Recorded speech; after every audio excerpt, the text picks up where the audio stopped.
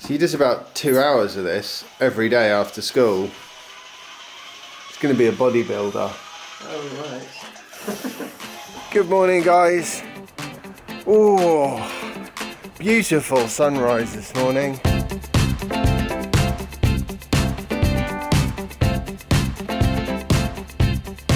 Now it's time to go get these really useful boxes so that when we get home, I can finish, more or less, sorting out the office. Wow. So much for a clean car.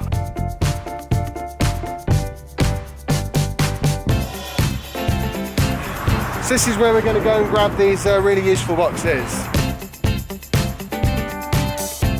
Yeah, I want the smaller ones than these. Where are the small ones? Where are the small... Ah! Oh yes. Okay, I need boxes for cables, audio, batteries and solar. I need ducting and command strips as well. Not quite sure where uh, this mountain of really useful boxes is going to go in the car.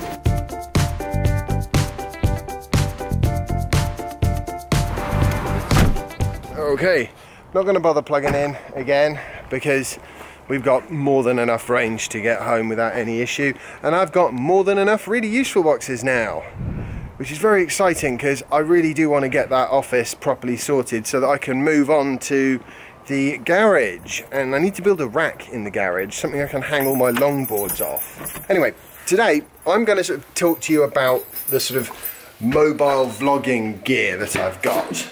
Because it's sort of changed a bit recently. I've been paring it down to the the bare essentials that I want to take with me basically everywhere and that's what I've got in this backpack. So let's have a quick look. I've taken a bunch of stuff out of here recently. And I've put some new bits in. So first thing we've got is a Fusion.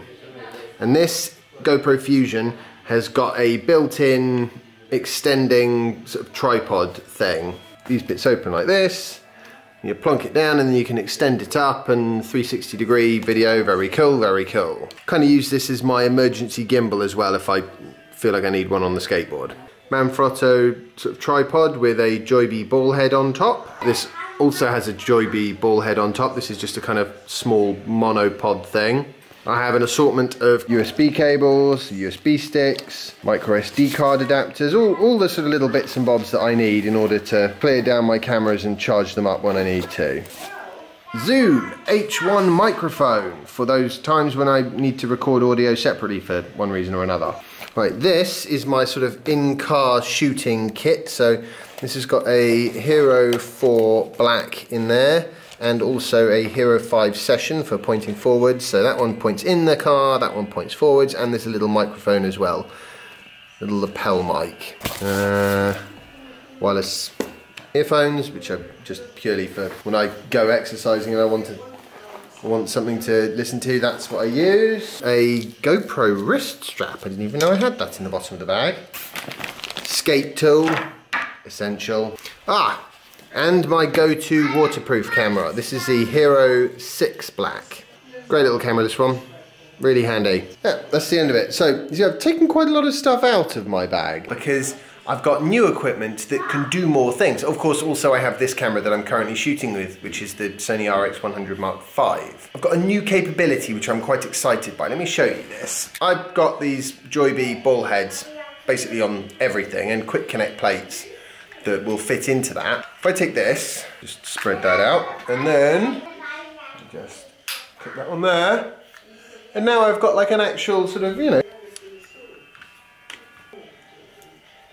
and it's quite cool that I can have something of that size that actually just fits in my bag. Obviously it's kind of flimsy, so wouldn't be using that in the wind or anything. Yeah, so What I love about this whole sort of tripod situation I've got going on at the moment is it means that I can do things like this, just set something up quickly. It's part of the challenge for me because I have to kind of weave my vlogging into whatever else I'm doing in the day and I'm always doing something else in the day because you know, you've got family. So portability and flexibility are absolutely key to me You know, with this little kit, I've got everything from waterproof to decent quality 4K camera, got all the connectors and cables I could possibly want, and I've got the 360 degree video, which if you put the sort of software stabilization on that, because it's basically like a sphere of image, it just rotates the sphere. So you don't lose any quality when it stabilizes and it does a really, really great job. You know, very gimbal-like. Because they did for a while have one of my little hero cameras on a gimbal and that would live in my bag, but it takes up a lot of room. All these things take up room and they add weight and I just need to be able to record in the car when I want to, record in this sort of situation with a locked off shot and have a reasonable degree of flexibility in you know how I'm setting up shots and stuff like that, which is exactly what this new little sort of sort of tripod situation does for me.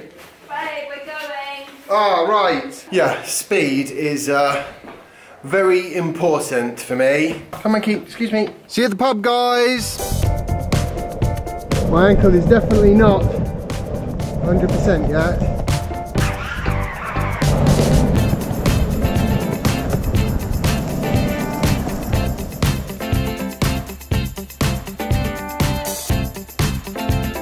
This is an awesome little pub. We're uh, just gonna grab some lunch here. I'm pleased I managed to get on the board. I'm just trying to sort of make sure that my ankle sort of builds up what strength it can. Yeah, this is a good example of what I was saying about needing to be quick. Everyone else is in there. I'm just popping out here for a really super duper quick time lapse. But then the food will be soon, so to get on with this.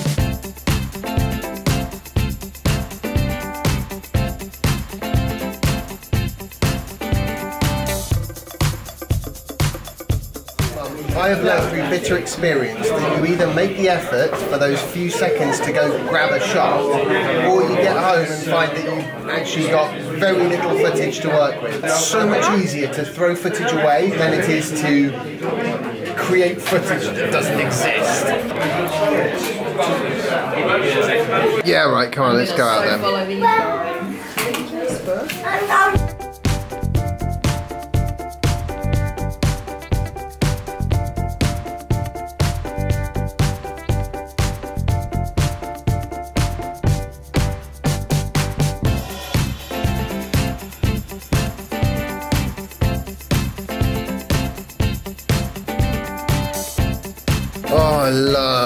Sunday lunch. Traditional beef roast with a spongy custard pudding. Wait, Soph, what are you doing?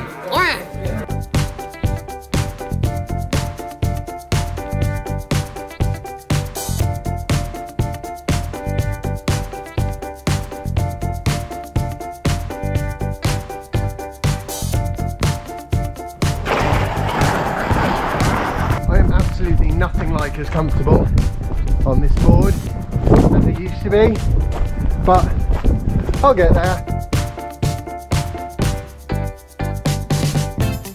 Alright, come on Jasper, jump in. All these boxes, Jasper, are what I'm going to use to organise my office. Why? Because at the moment it's a big mess, and with these boxes I can make it brilliant. No, we're not. We're not going to a supermarket, Jasper. We're going to stop at a garage, okay? So that Mummy can get what she needs and not what she doesn't.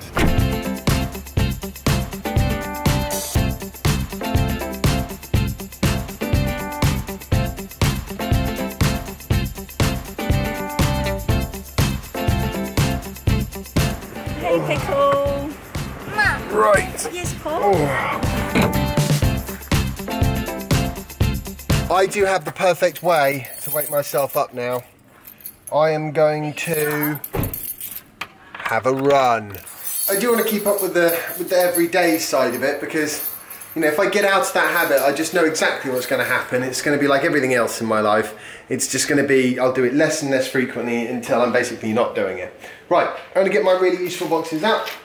Hello, out of the car and um, I'll see you guys in a minute. I am going to have a shorter run today. I'm really, I'm determined not to push it too far, too fast on this ankle. So, two kilometres, not three, not three and a half, not four, two.